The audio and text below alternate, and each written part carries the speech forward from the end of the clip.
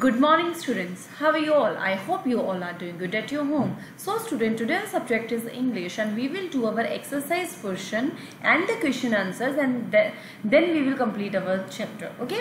So हमने क्या किया था हमने MCQs part कर लिया था. Now we will move on the filling in the blanks. The first one is the my nose asked details to make a maze full of किस चीज़ की मेज बनाने के लिए से बोला था पैसेज की किसकी पैसेज की Crete was on dash and so the father and son could not find the way to escape जो क्रेट था वो क्या था एक आइलैंड था क्या था एक आइलैंड था okay so he made two pairs of wings by sticking dash together with wax उसने क्या बनाए फेदर्स को जोड़ के पंख बनाई Icarius dash every day and learned how to use his wings कि इकेरियस डेली क्या करता था जिससे वो विंग्स को यूज़ करता था?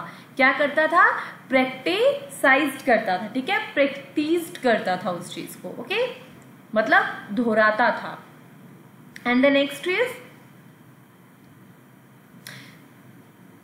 swifters cried out in dash to see such a sight वो क्या कर रहा था उस चीज़ को फील करके? अमेजमेंट फील कर रहा था। क्या कर रहा था? अमेजमेंट फील कर रहा था। He was cold and when the, when the sun dashed him and he flew still higher and the heat. दोनों डैश में क्या आएगा warmed एंड रीजॉइंस वार्म मतलब उसको गर्मी महसूस हो रही थी और रीजॉइसिंग मतलब उस चीज़ को वो इंजॉय कर रहा था ओके okay? इतना पार्ट हमारा हो चुका है सी पार्ट है हमारा answer the following question now हम क्या करेंगे? अपनी नोटबुक को ओपन करेंगे जो हमारी इंग्लिश की है।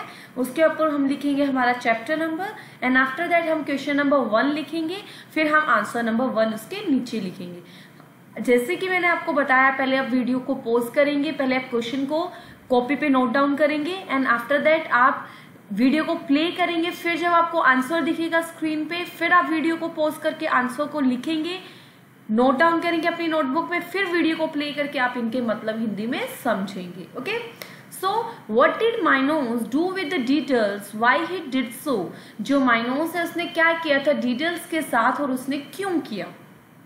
The answer is Minos and Daedalus quarrelled so he imprisoned Daedalus जो माइनस और डिटेल्स है, उनके बीच में मतभेद हो गया था, लड़ाई थोड़ी आर्ग्यूमेंट्स हो गई थी, झगड़ा हो गया था तो उसने इम्प्रीजमेंट उसने डीडल्स को सजा दी इम्प्रीज कर दिया मतलब जेल कर दी okay next one is how did Daedalus and his son made the way out of the island जो डिटेल्स है और उसका जो बेटा था, उसने वो चीज़ अपने वहाँ से निकलने का वे क्या बनाया?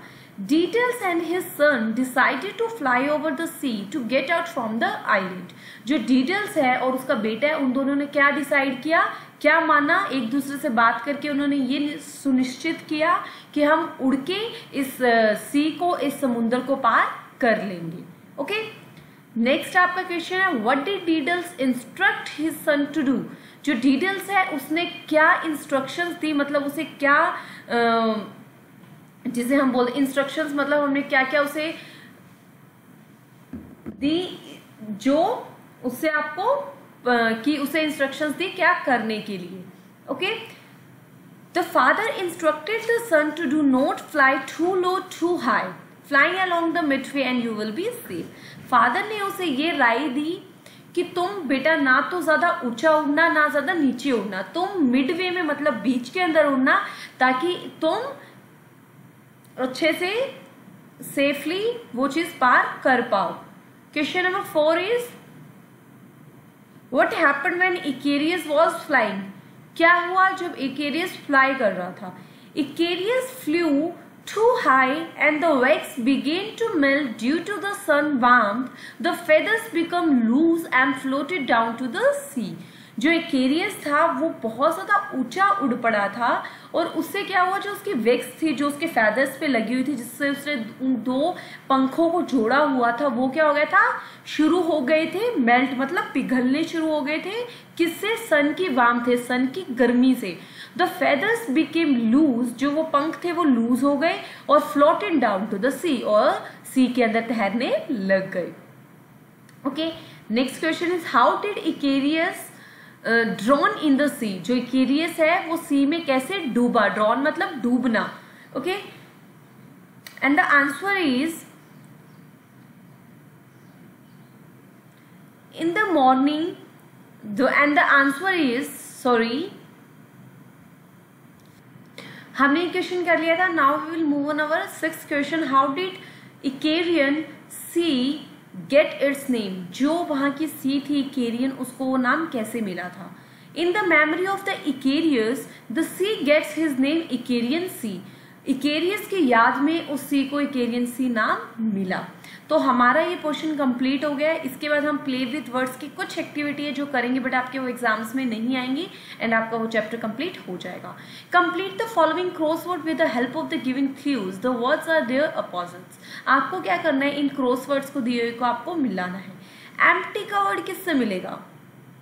एम्प्टी का वर्ड हमें ये पजल सॉल्व करनी है। ये पजल आपके लिए एक होमवर्क है। पहले आप ये पजल करके देखेंगे। इफ़ इन केस आपको सॉल्व नहीं होगी तो मैं आपको ग्रामर क्वेश्चन के साथ और आप अपने टीचर से ये क्वेश्चन पूछ सकते हैं ओके अब हमें इनका ग्रुप बनाना है। बी पार्ट में name the groups of the following हमें क्या करना है?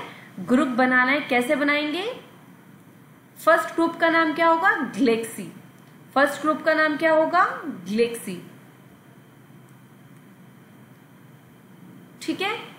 ग्लेक्सी वर्ड होगा a star a galaxy of stars a galaxy of stars second होगा अ टीम सेकंड होगा a team of players a team of players a herd of cattles a herd of cattles fourth one is a dash of cards a pack of cards a dash of soldiers answer क्या आएगा?